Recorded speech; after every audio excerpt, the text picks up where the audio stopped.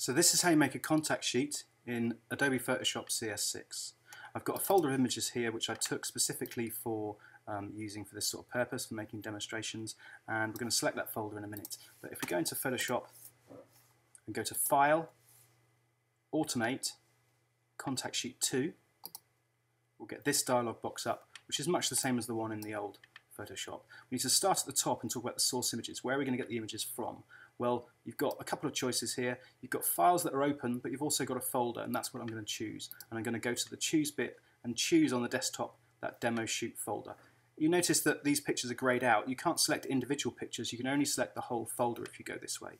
If you want to select individual pictures, you need to go the other route and open the pictures into Photoshop to start with. So I'm going to include subfolders, not that there are any, and you can, if you want to, choose to group images by folder if you've got a large folder of images with lots of folders of different shoots within that. I'm now going to choose the size of the document and it's already set here actually just a bit smaller than um, a sheet of A4 paper. So it's 20 centimeters wide and 27 inches high 27 centimeters high. And resolution we actually want to go by pixels per inch because that's generally the standard way of doing things. So make sure it says pixels per inch not per centimeter.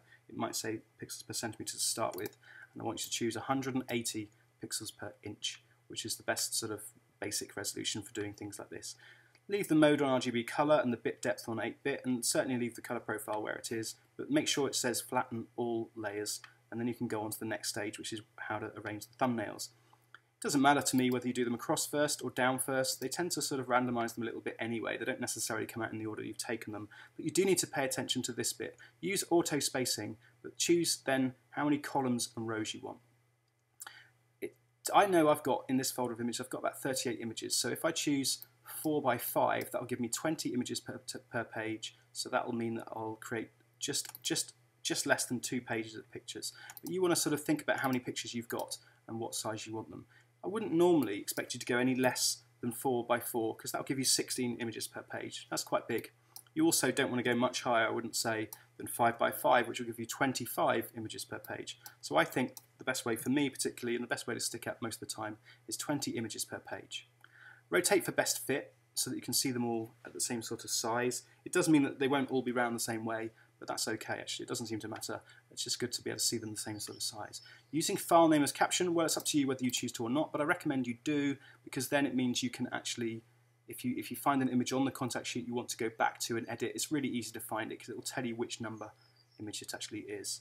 Um, choose whatever font you want to do as long as you can read it and I recommend going down to about 8 point or something for the font size so that you've actually um, you don't take up too much space with the text. And then it's time to click OK and watch the uh, program actually put your images together. At this point I'm just going to pause it Okay, so I've been away and I've come back and I've found that it's made my contact sheet, so I can pull this one to one side so that I can see them next to each other. And now they're ready to print.